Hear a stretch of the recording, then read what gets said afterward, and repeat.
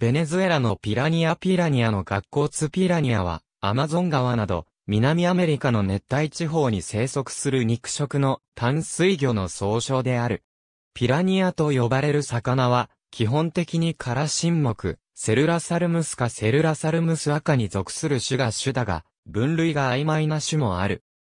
ピラニアとは、現地のインディオの言語である、トゥピ語で、魚を意味する、ピラと、歯を意味する、ライン歯を合わせたもので、歯のある魚の意味。体長は、小型の種で15センチメートル、大型種では60センチメートルほどに達する。ピラニアナテリーは、緑と赤に輝く鱗を持ち用種も美しく、熱帯魚として、家庭で飼育する愛好者も多い。観賞魚として人気のあるネオンテトラは、ピラニアと同じカラシンの仲間であり、顔つきもよく似ている。小さいためわかりにくいが、ネオンテトラにも鋭い牙がある。また、装飾でおとなしいメチニスの仲間に禁煙で、体型、色彩などが似る。ピラニアは、上記のメチニス系の草食魚類から、1000万年から800万年ほど前、雑食のメガピラニアを経て、現代の肉食のピラニアへと進化した。そのため草食系の気質が多く残っている。概して臆病な性質であり、特に単体での性格は極端に臆病であるため、群れることを好む。自分より大きく動くものに対しては、すぐ逃げ出す傾向がある。野生種の食物は、他の魚や、稀に水に落ちたヒナドリやネズミなど、主に自分よりも小型の魚類や動物類である。他には、川で死にかけている、もしくは川で死んでからあまり時間が経っていない動物類の肉も食べていて、たとえ空腹でも大型の温血動物は襲わない、という説は誤りである。獲物からは常に距離を取り、その安全圏から獲物の肉を盗み取るように高速に泳ぐ。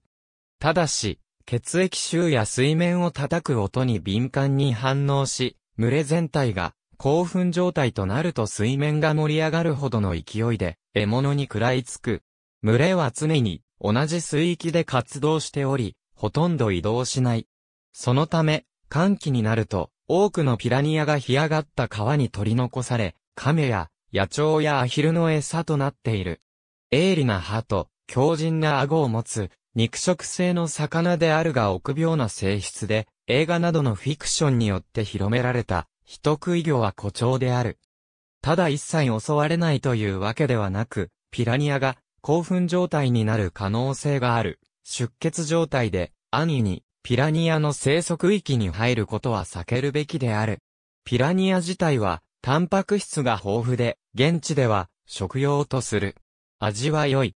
鋭い歯はその切れ味の良さから散髪に用いられるなど、鉄器文明がない地域であったこともあって、古来から刃物として活用されている。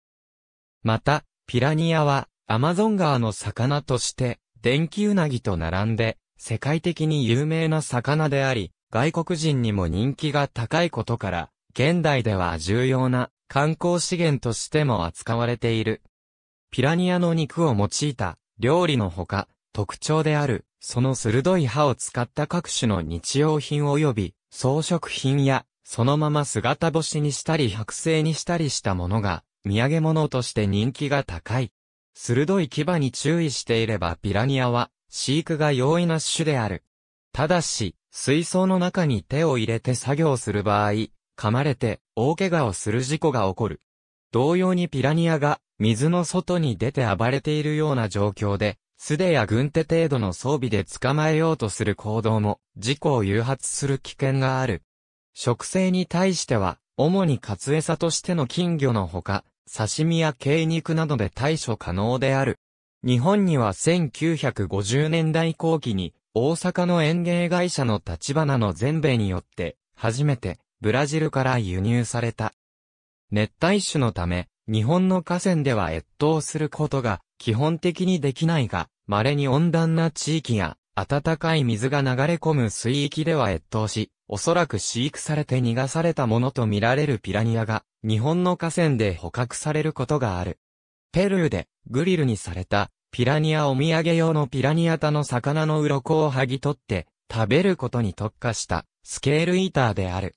なお、この習性は、ある程度の大きさのある魚に対してのもので、飼育下では、メダカなどの小魚を与えられると普通に捕食する。同じような体型で、下顎が赤く染まる、レッドギル、エロンガータピラニアと呼ばれるタイプも存在する。ピラニャの表記が、原語の発音に近いハット New Fossil Tells How, Piranhas Got Their Teeth ハット http コロンスラッシュスラッシュ www.charonboat.com スラッシュアイテムスラッシュ221動画ピラニアだらけの川に肉を放るとこうなる。ナショナルジオグラフィック日本版。2015年3月22日閲覧。このような捕食シーンの展示は、水族館のショーの定番である。ありがとうございます。